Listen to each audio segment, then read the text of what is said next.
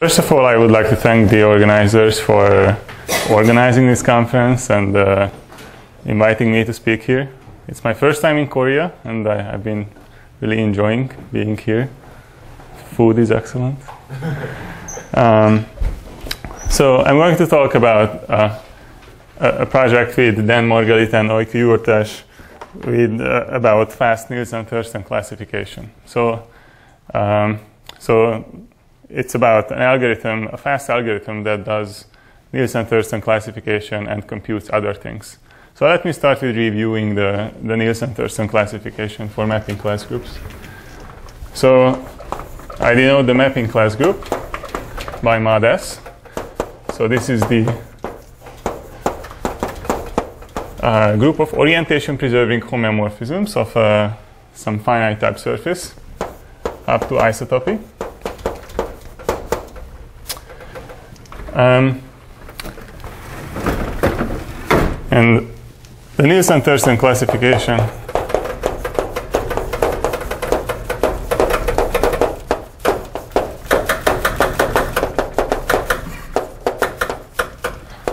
Uh, tells us that every element of the mapping class group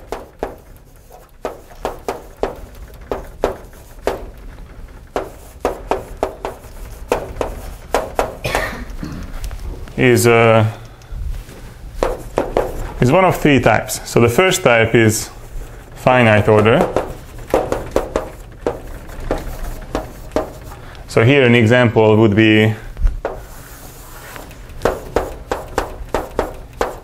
for instance this surface and uh, rotating the surface by one click. The second type is pseudo-Anosov.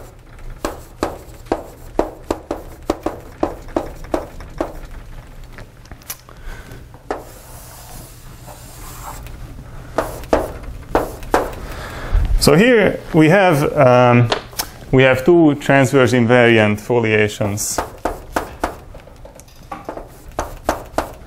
And uh, in one direction, uh, the surface is stretched by a factor of lambda, and in another direction, it's uh, shrinked by a factor of 1 over lambda. And this, this surface might, this, these foliations might have uh, singularities like this.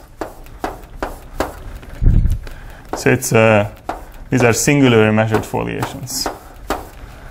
So the foliation that is stretched, we call it the, uh, the unstable foliation. And the foliation that's compressed, it's called the, the, the stable foliation. And we have a third type. Um, maybe I put this here. Um, the third type is reducible uh, reducible mapping classes, it's sort of a combination of these two.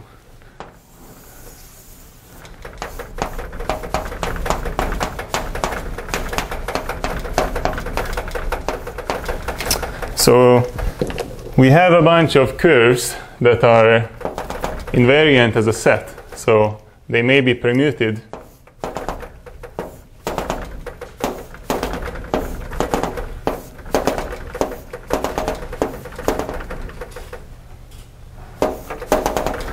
Okay, so these, uh, these curves are invariant. They might be permuted. So these are called reducing curves.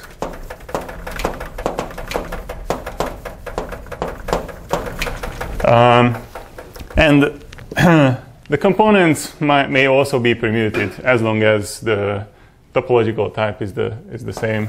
So maybe, maybe these two are permuted, um, and maybe these two are fixed. So we have permutation of components, and, in each component we either have a pseudo-Anosov or, or a finite order action. So maybe maybe we have a pseudo-Anosovs in these components and finite orders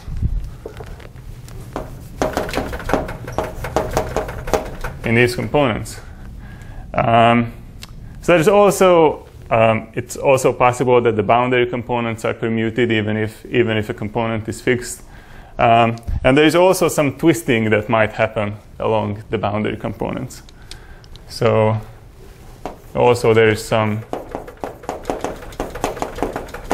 possibly some twisting data along the boundary components. All right. So uh, so if if one has all this data, all the components, all the reducing curves, all permutations, all the gluing data, all the twisting, so all these all these pieces together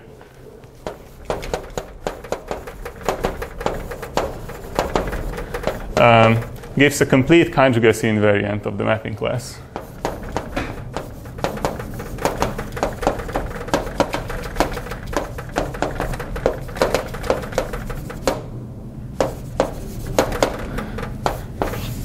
So one motivation to, to compute compute lots of these all these things about about a mapping class is if you can compute all of them efficiently and put them together, we you can compute a com- complete conjugacy invariant efficiently and solve the conjugacy problem quickly.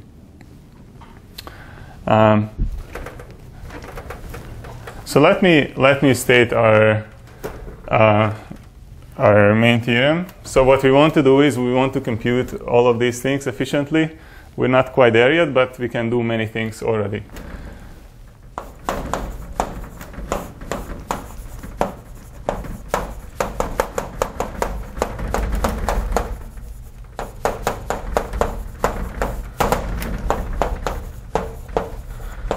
So there is a quadratic time algorithm.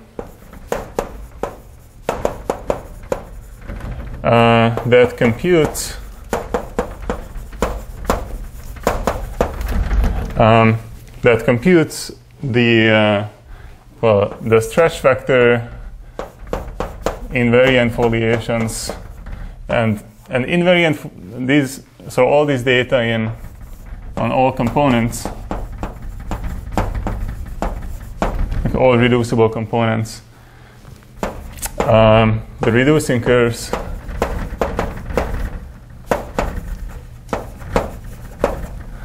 um, and uh, and also the order of the mapping class in the finite order case. Uh, so let me um, let me tell you what what we mean by an algorithm. What is the input and how we measure the running time. So the input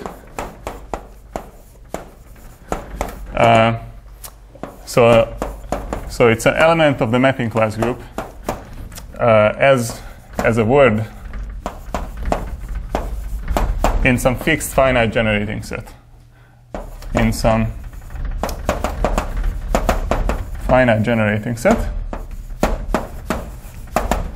And the running time is measured um, in terms of the length of the word. Okay, running time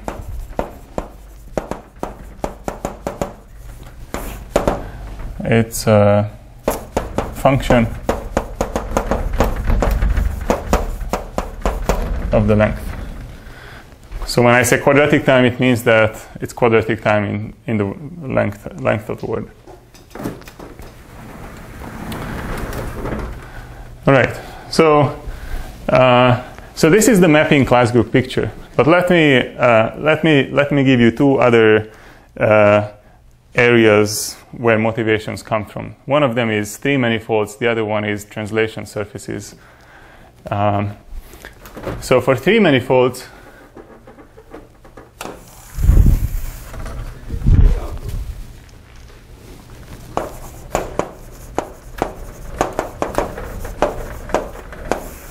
um, if we have a mapping class, we can construct the mapping torus, which gives us a three manifold. Right? So cross, we cross the surface with an interval and glue the two boundary components together with, uh, with the map. And this is the mapping torus MF. So one thing that's, that's really useful uh, if you have a mapping class is being able to compute this mapping torus. So um, given f, computing, uh, computing the mapping torus, and there's already there is already a program that does it. It's called Twister by uh, Mark Bell, um, Tracy Hall, and uh, Saul Schleimer. So once we have a mapping torus, uh, well, in the pseudo-Anosov case, f is pseudo-Anosov if and only if the mapping torus is, is hyperbolic. So if we start from pseudo-Anosov map, it would be also really useful to compute the hyperbolic structure here. Um,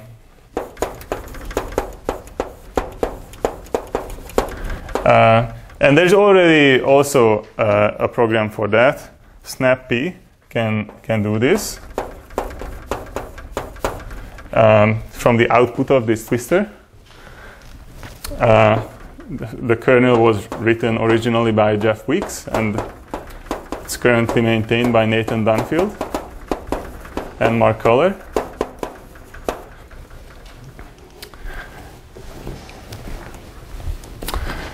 Um, but there's some other there's some other things to compute about three manifolds that SnapPy currently cannot do. So uh, these things would be the Thurston norm, fibered faces, uh, Teichmüller polynomial,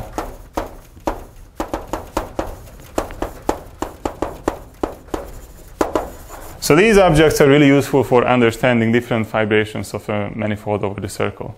Yes? What is the output of the program that computes the mapping torus So this is like a huge triangulation. So, yeah. Um, right, so um, so these are, these, these are useful to understand different fibrations of a three-manifold over the circle. The Teichmüller polynomial can be used to compute the stretch factors of, of the different fibrations. Um, so Teichmüller polynomial was introduced by McMullen. Um, and he also explained that this can be computed from an invariant train track. So some, some, something else that would be useful here is, uh, is uh, in the in the pseudo-Anosov case is an invariant train track.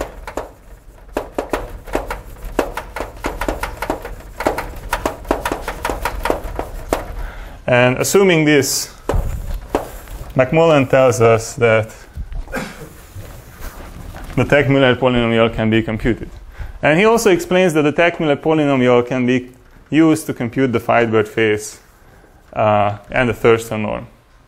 Um, so these, these are currently not implemented anywhere as far as I know. Um, and the one last thing about the three manifolds is uh, veering triangulation.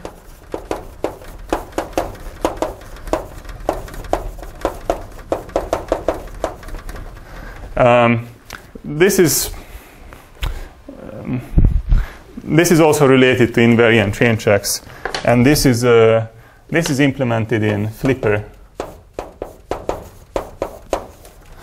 by by Mark Bell.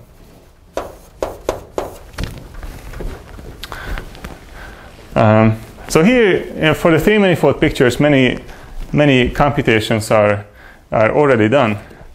Um, but for the other topic, translation surfaces, um, there are really important pieces missing. So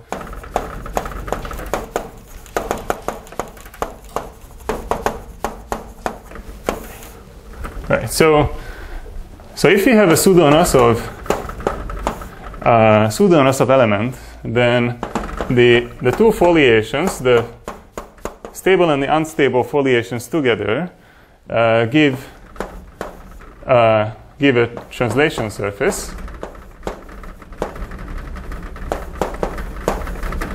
And um, there are lots of programs already for computing things about translation surfaces. In fact, there is a Sage, Sage package uh, in progress. It's in progress by Vincent Delecroix and Pat Hooper. Um, and another example would be uh, Ronen Mukamel has a program that computes uh, Veech groups of certain translation surfaces. So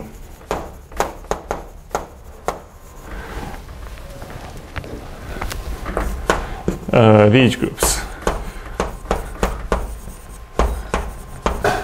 Um, but the issue here is that there is uh, there is absolutely no at, at this point connection between the mapping class group picture, like computing things about the mapping class groups that would output a translation surface for a pseudo Anosov. So this this arrow is is currently com completely missing. So what we also try to do is not only compute these things efficiently, but also being able to construct this translation surface efficiently to, to bridge this gap here. All right. Any, any questions at this point? So what, what do you mean by the computing translation surface? So, so that, that two foliation gives us some kind of flat structure on the surface, right? Yeah. So uh, what do you mean by the? Yeah, so it, it has to do with how, what I mean by computing the invariant foliations. Yeah. So um, the easiest way to represent uh, an invariant foliation is by some coordinates in the measured lamination space. Mm-hmm. So computing FU and FS, we have two vectors uh, of, like, we have just two vectors that represent them. So how do we get a triangulated surface, like a tra translation surface from that? It's not, not quite clear. We need to do something to translate those coordinates into an actual triangulation of the surface.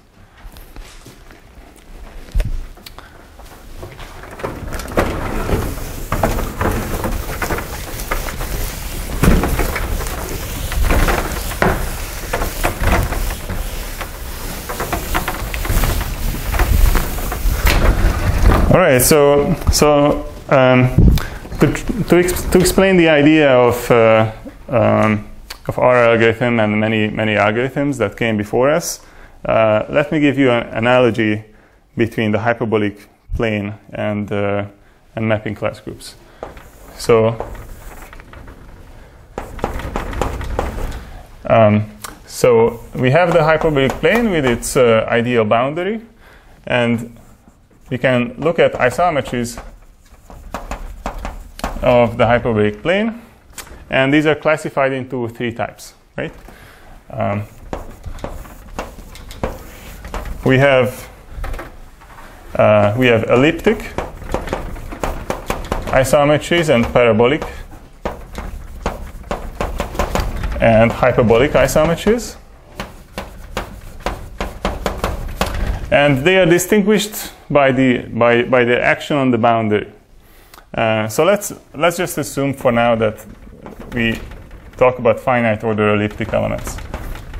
So in this case, the action on the, on the boundary of an elliptic element up to taking powers is the identity, right? Some power fixes the, ident- the boundary completely. Now, for parabolic ones,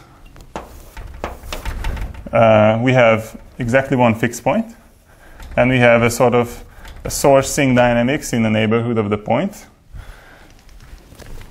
And for hyperbolic ones, we have two fixed points. Um, and we have this real sourcing dynamics. Now, for the mapping class group, we also have a space, the Teichmüller space, and uh, the space of piecewise uh, projective measure laminations.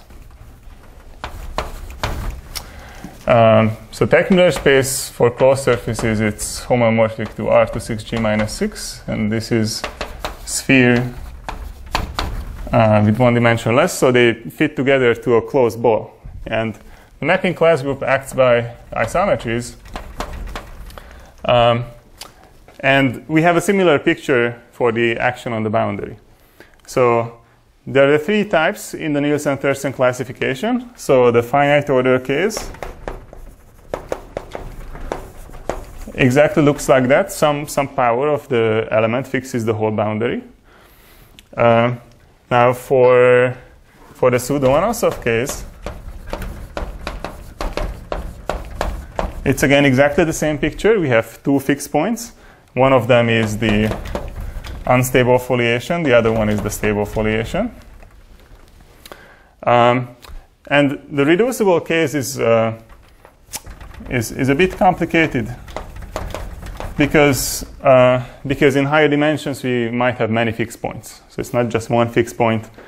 Um, and the dynamics, dynamics, the action on the boundary also looks more complicated. But it's always true that uh, up to some finite power, the, these reducing curves uh, are going to be realized as fixed points on the boundary. So the reducing curves uh, we will see as fixed points. Um, so now, if, if the fixed set here can indeed be more complicated, more than just one point, then, uh, then one may wonder how do we efficiently distinguish these two cases. Um, and it turns out that this, uh, this space of piece uh, projective measured laminations has some extra structure that, uh, that helps distinguish these two cases. So the projective measured lamination space is a quotient of the measured lamination space.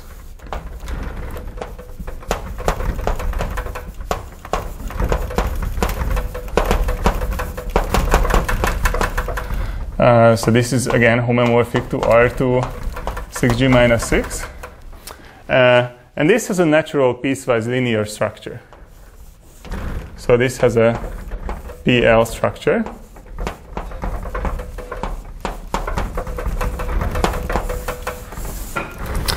Um, and and and mapping class group acts, acts by act, act, it acts by piecewise linear maps.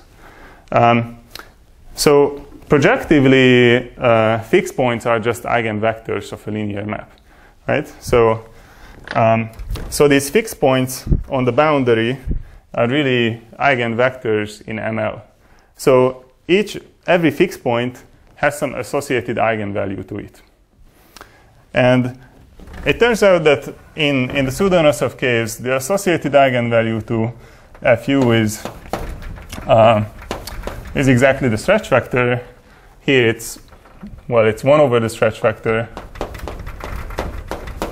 And for reducing curves, the eigenvalue is, is 1. Okay, so, so, this, so this picture, um, broadly speaking, gives an algorithm for finding the Nielsen-Thurston type. Um, if one can compute the whole action, this whole piecewise linear action on the boundary, then one can first check if some power, some small power is, is the identity. In this case, it's finite order. If, if not, then we calculate all the eigenvalues and eigenvectors. If you find an eigenvalue, which is 1, then that means we found the reducing, reducing curve, so we are in the reducible case. And if you don't find any eigenvalues with lambda equals 1, then we know we are in the pseudo-Anosov case. And in this case, we just need to find the two fixed points with uh, the two eigenvectors with lambda and 1 over lambda. And, and the eigen, those eigenvectors will be the stable and unstable foliations. So can, can you ask you one thing? Uh, so in the reducible case, so if you if it is composed of two partial pseudo-Anosov maps, Mm-hmm, mm-hmm. so then uh, the union of two stable lamination or Mhm. two unstable lamination are Mhm. also fixed points. That's right. So in that case, the eigenvalue might, might not be one. That's right. That's right. So th- th- there can be other eigenvalues here other than one, but Ah, but you no, but you, but you you must have a, if you compute everything you have to have to find one that's one. Yeah.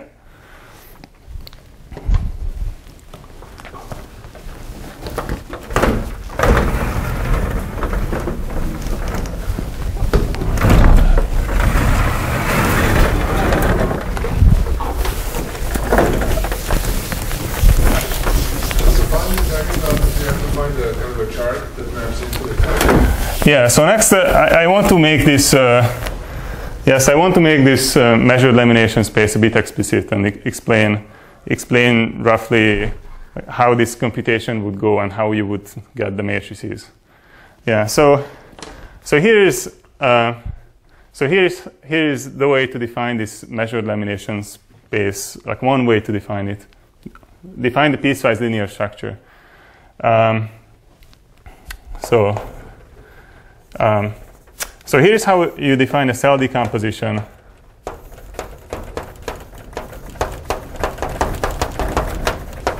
of, uh, of the measured lamination space. So, so first, pick a marking.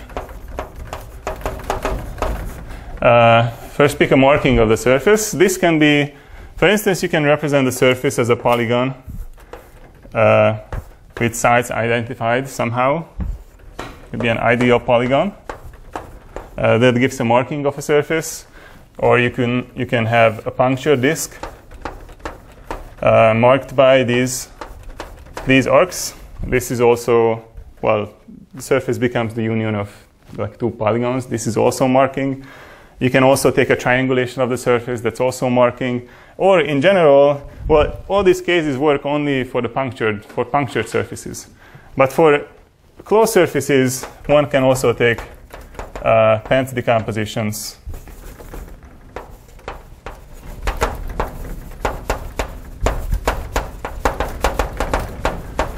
Um, well, and marked curves. So pants decompositions and marking each, each curve in a pants decomposition by, by another curve intersecting it. So this gives a marking for all surfaces, even non-orientable ones and closed surfaces. So, so once you have a marking, uh, define a standard standard position for curves, for curves and laminations. So uh, how do we do that in, in this case? Well, any curve uh, on the surface consists of arcs that connect two, two boundary components. So maybe they are really squiggly, but then you can isotope it so that all the arcs connect almost the midpoints of two edges with almost uh, like almost so very nice uh, arcs.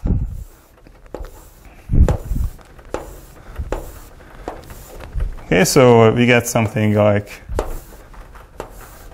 uh, something like this. This would be a standard position. Here also, any arc that we get, we can isotope so that all arcs look, look like half circles. Um, and there is a way to do it in, in decomposition case as well. Okay, once, once one does this, then uh, one can define standard train tracks.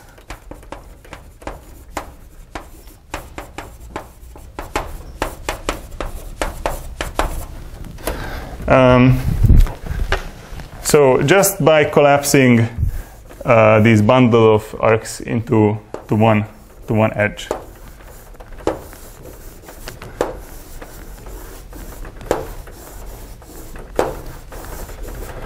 Okay, there are clearly finitely many things I can get because there are finitely many arcs uh, in all cases. So I get a finite collection of, of these standard train tracks, and these standard train tracks correspond to my cells uh, in, in the cell decomposition. Okay, so now I have a cell decomposition of the measured lamination space with charts being these standard train tracks. And if I have, if I have a mapping class, maybe a Dehn twist, that I apply to this standard train track, well, it changes the train track in a way that it doesn't look standard anymore. Um, and it will have, it will probably have bigons, bigons with these arcs that are not possible to remove by isotopy. So in this case, one would, one would peel off these arcs uh, and split the train track to many different train tracks uh, that look like standard train tracks. Um, so this would correspond to like mapping this chart onto uh, in ML, and if it's not linear, we just subdivide this cell into little pieces so that all the little pieces map linearly to all the other charts. And one can, so if I, if I have a fixed generating set, maybe a set of the entries, I can explicitly compute how to split these train tracks and explicitly compute the matrices between the different coordinate charts. And this is my description of, the, of this piecewise linear action.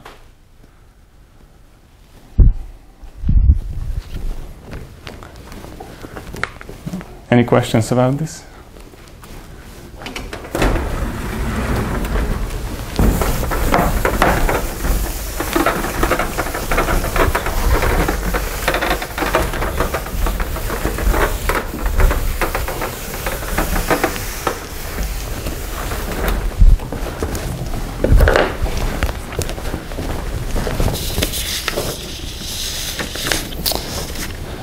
Okay, so right, so um, so I mentioned that that that this this description gives an algorithm. So the input is is, is a word uh, word in, in this generating set, and what we do is we compute the whole action, um, and the whole action will be some piecewise linear action. Um,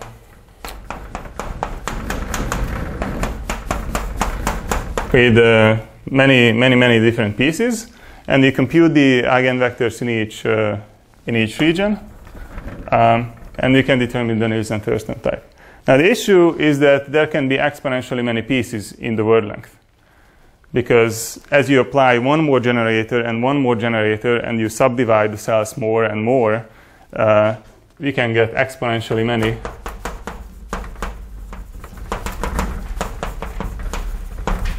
many uh, pieces. Uh, so, so the running time of this naive algorithm would be would be exponential. All right. So let me mention some other algorithms. Um, as far as I know, this algorithm has never actually been implemented. So the um,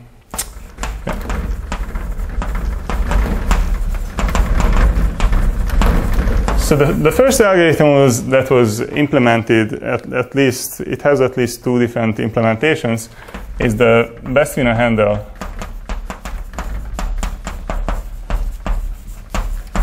uh, is the Bestvina-Handel algorithm which uh, finds the reducing curves and the stretch factor uh, and also an invariant train track. Um, so it's implemented as the program trains by Toby Hall and X-Train by Peter Brinkmann.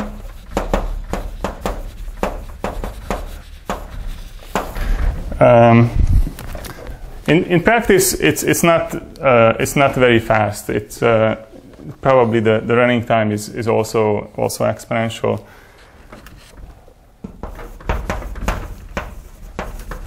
Um, and there are some, some newer algorithms like list, list and check algorithms that are also exponential time. Mangehaus. Uh, um, and, and more recently, uh, Mark Bell showed that the, the, the problem of Nielsen Thurston classification is, is in NP uh, and co-NP so from this follows that there is an exponential time algorithm. Okay, so, so these algorithms, um, the issue that they are not, not fast, they are exponential time.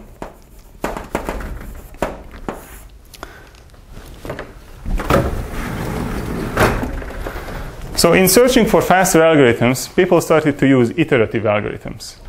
So just like um, they are very similar to these iterative algorithms for finding eigenvectors. You just take an eigenvector and start iterating the matrix and it converges to the dominant eigenvector, if there is one. So it's a similar idea. We have this sourcing dynamics here. So we take any curve, we start iterating. In the pseudo-Anosov case, it, it should converge here. So we should be able to approximate the, the the, um, the unstable foliation. So iterative methods uh, by uh, there are again at least two implementations. Dynn, the program Dynn by Toby Hall. This uh, this works in the Dynnikov coordinates uh, on puncture disks, and Flipper uh, by Mark Bell.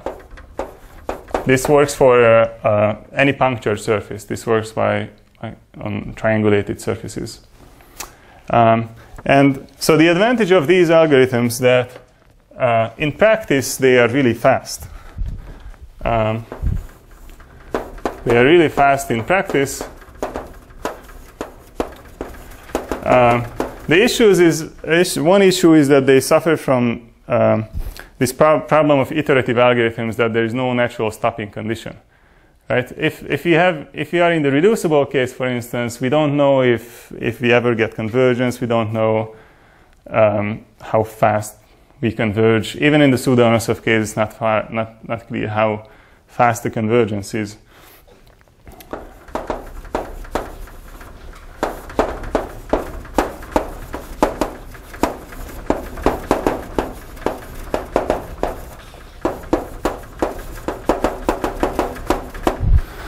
Right. Um, and it turns out that the convergence to, to the unstable foliation can actually be exponentially slow.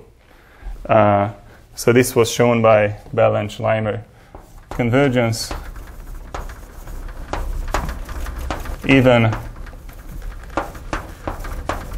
in pseudo-Anosov case can be exponentially slow.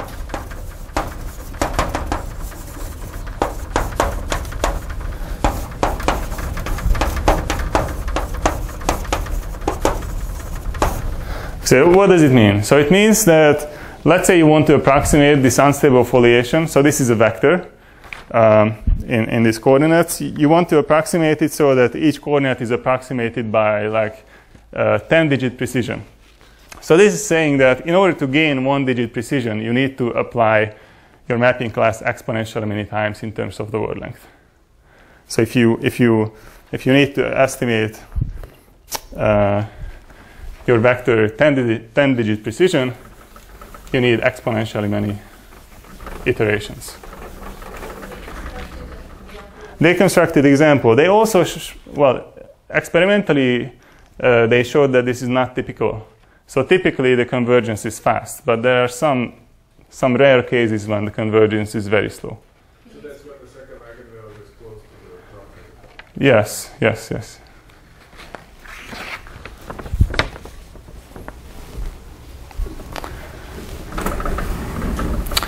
Um, and um, other than our algorithm, there's, there's also uh, another polynomial algorithm now, which was obtained by Bell and uh, Mark Bell and Richard Webb.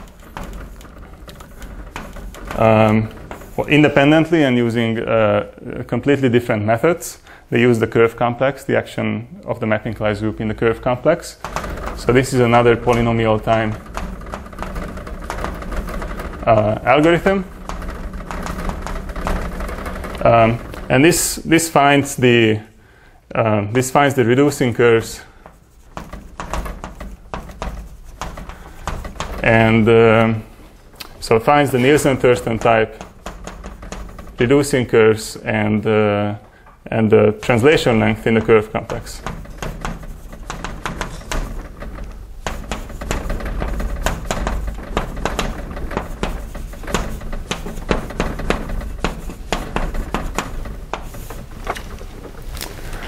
So their, their paper is already on the arXiv.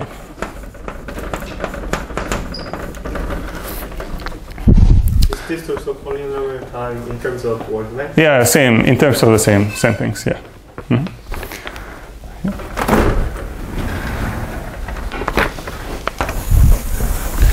Okay, so let me mention the, the idea behind our, our algorithm.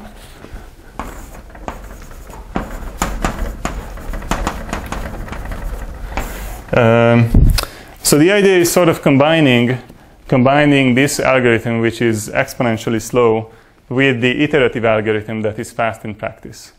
Um, so, so the idea is that uh, so in the pseudo-Anosov case, um,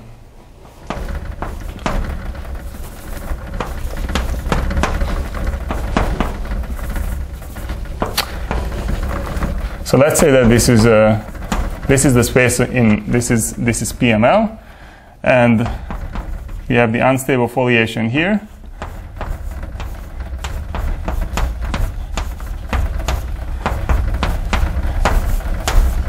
And, and these are the pieces of the piecewise linear action. Um, and we know there can be exponentially many pieces. So we don't want to compute the action in all the exponentially many pieces. but we also know that there is, uh, if, we, if have a point uh, and start iterating the point, eventually it has to get really close to, to the unstable foliation. So it makes sense to just, to just first iterate the point a couple of times until it gets sufficiently close to, uh, well, gets into one of these regions adjacent to the unstable foliation. And once we get there, then just compute the action on just that one chart, um, and then compute the eigenvalues of this matrix that we get here. Um, so the question is, how quickly do we get into one of these good regions? That's the big question. Um, and we also need to understand the situation in the reducible case. Um, maybe I don't draw the picture because it's more difficult. The fixed set is more difficult, and the sourcing dynamics is more difficult. But also, um, there's a similar situation that there's a bunch of uh, neighborhoods of some sort of attracting, attracting set, and we, what we want is iterate the point uh, some number of times so that we get into these good regions, and then we compute eigenvectors there. And, and the idea is that we should be able to see all the reducing curves and all the invariant foliations on all the pieces. So what makes this, this, this whole thing work is that it turns out that the number of iterations necessary to get into the, to these attracting regions is, uh, is constant. It's constant in the word length. Um, so, so this is our this is our theorem that, that makes, uh, makes everything work. So if we fix a cell decomposition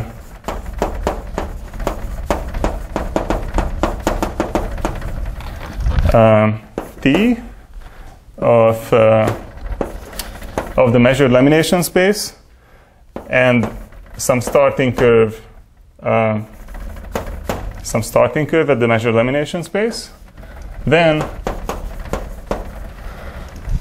um, then there exists Q depending only, only on this chosen cell decomposition and the curve and not depending on the word such that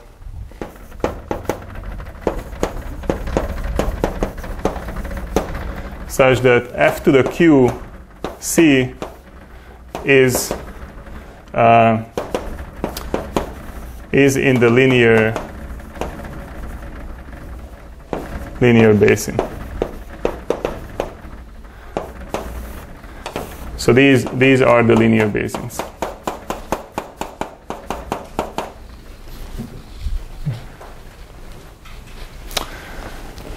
Can we turn on the projector now?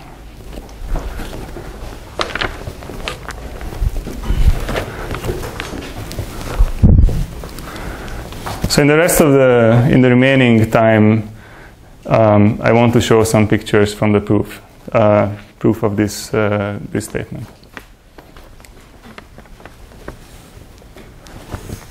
So you don't get the train track in the Pseudo-Anosov case? Um, we, we get the train track too. Um, this theorem doesn't explain why we get the train track, but we get the train track too. And that's also in quadratic time? Uh, that's also in quadratic time. So we expect that everything, everything in everything in- is in quadratic time that um, that I mentioned in the beginning. So the whole conjugacy problem should be uh, quadratic time. The translation surface should also be quadratic time. Um, one one other thing, one one thing that um, that's different for these different computations is the dependence on, on the genus, dependence on the surface. So just for this basic data, the stretch factor and foliations and, and even, I think, even the tr- translation surface, the, the dependence on the genus is, is very good. It's uh, just quadratic, just quadratic in the Euler characteristic. So it scales very well with uh, taking more complicated surfaces. But for instance, the conjugacy problem, for the conjugacy problem, it's, it's definitely not possible to do it better than exponential time in terms of the size of the surface because of, because of keeping track of all the gluing data of the subsurfaces.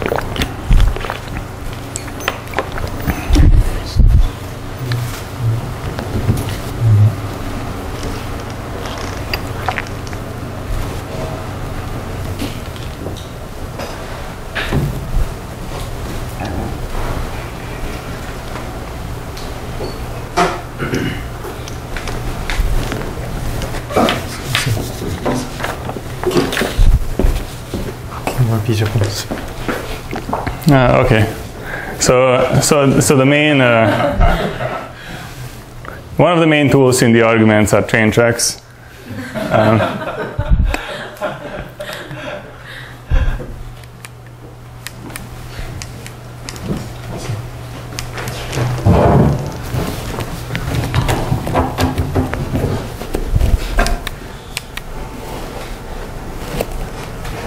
yeah, I can just use it in the meantime.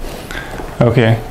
So, so maybe I don't explain because I'm running out of time, but the, the, the idea is that the, the linear basin, so these regions correspond to, these charts correspond to train tracks that are invariant under the map. So train tracks map onto themselves nicely that are also, uh, also carried on one, one of like the, carried on some, some tau i of the cell decomposition. So they have to be invariant uh, and have to be compatible with the train tracks of the cell decomposition.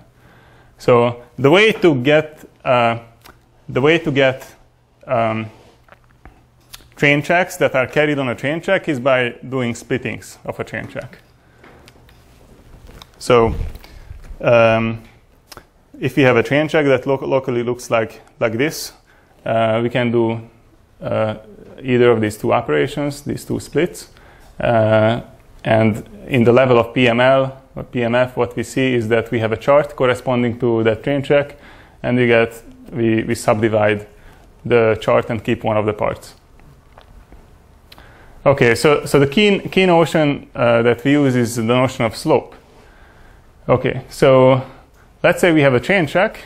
We can, uh, we can draw the dual triangulation of the train track, putting a vertex in each complementary region and taking uh, the dual triangulation.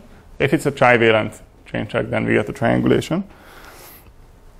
And then, um, so what happens with uh, the dual triangulation when we do a split?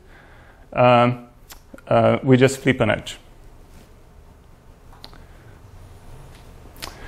Okay, so we, next we define straight dual triangulations. So now my train track is, uh, is carrying the unstable lamination. Um, and so I draw dual triangulation, and this dual triangulation will be dual to the, to the unstable foliation. Um, and, and the vertices, the vertices of the triangulation are at the singularities of the, of the foliation. So now what, what I can do is now consider this translation surface, this flat surface, consider a flat surface built from the unstable and stable foliations and pull it tight. Uh, like move, move, these, move these vertices to the corresponding singularities and pull it tight in the flat surface. So we get, uh, maybe we get something, something nice where the edges are saddle connections, or maybe, maybe we have like a more, more complicated, more degenerate triangulation. All right, so um, so each each triangle here will have exactly one horizontal separatrix going into the triangle. So we um, and that horizontal separatrix will be opposite to uh, to this to this cusp of the train track. So we call this we call these angles uh, at, at, each triangle that contains the horizontal separatrix cusp angles. And there are two types of cusp angles.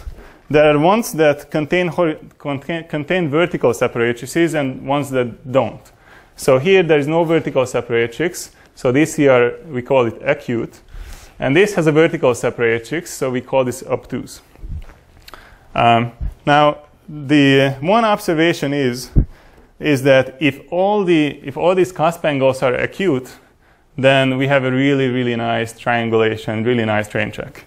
So um, the goal is to get rid of the obtuse angles, and the lemma is that if all cusp angles are acute, then the, this triangulation of this section is a, this, this is a section of the Veering triangulation, if you know what this is. Uh, but the point is that if we have if we have that, then after a few more splits, we get an invariant train track. Okay, so basically the goal is to get rid of the obtuse angles by splittings, and, and that gives us the invariant train track that we want.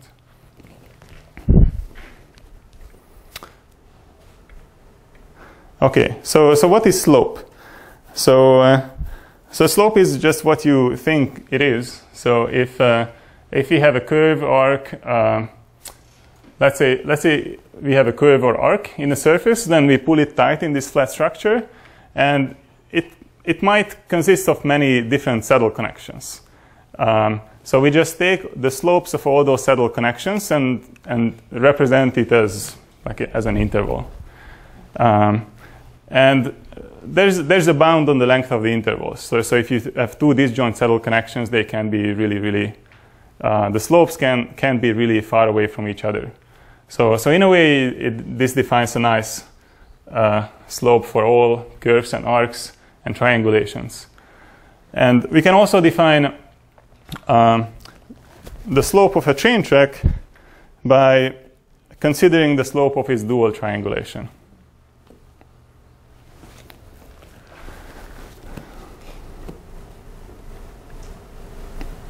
Okay, so, so the first lemma is that if we have a curve whose slope is meaning that the interval of slopes is completely uh, less, smaller than the slope of the train track, then C has to be carried on uh, the train track or its dual triangulation or its dual extension.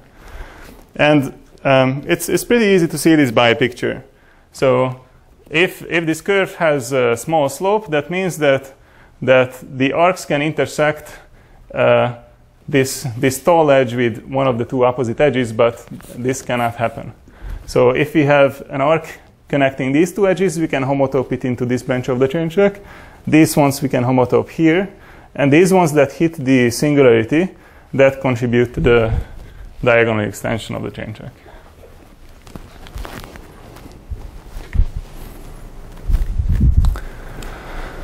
Um, the second fact is um, is that as long as we have an obtuse cusp angle, then um, then then the slope slope of the train track cannot decrease under splittings. Uh, actually, sometimes it it increases. So let's say we have this obtuse cusp angle here, and we do a split. If you do a split, then this edge flips. So what we see is that this, this, this, this obtuse cusp angle becomes, becomes smaller. Um, which means that the slope of this diagonal becomes, becomes bigger. Okay, so there's no, there's no way the, the slopes can decrease under splitting as long as we have obtuse angles. And the third fact is that uh, it's, it's, it's an obvious fact that if, if, I, if I apply my pseudo which stretches horizontally by lambda and, and compresses vertically by 1 over lambda, then the slope decreases by a factor of lambda squared. Okay, so now let's put all these facts together. So here's the picture.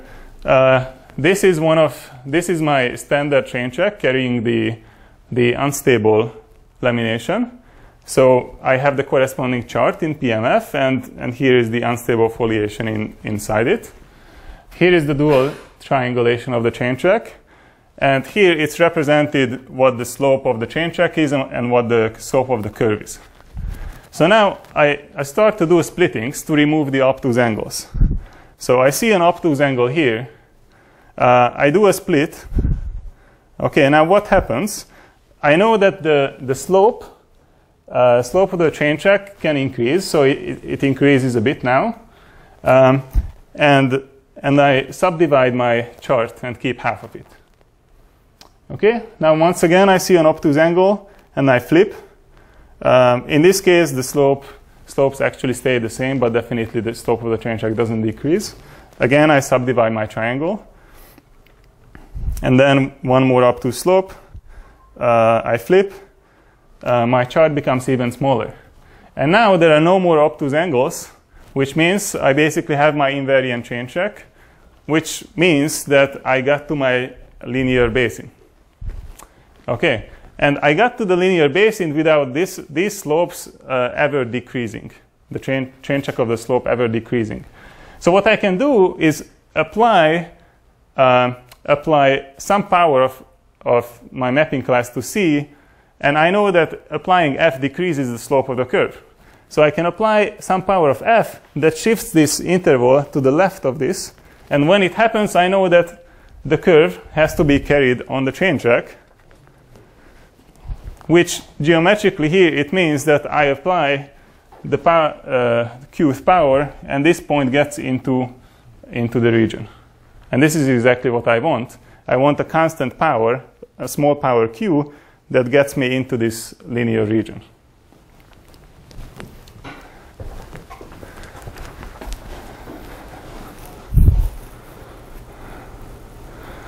All right, so the question is uh, how big is q?